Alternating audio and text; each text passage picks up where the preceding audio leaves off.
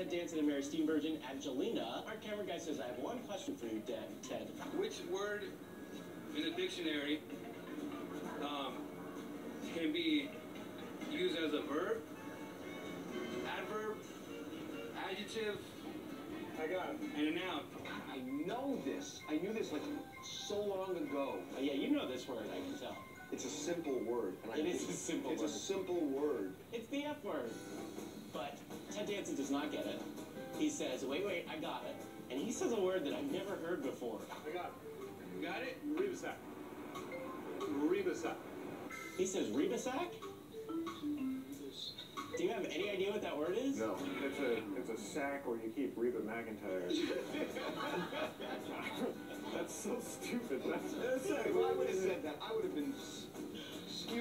about delivery. All right. And also, and also likability. All right.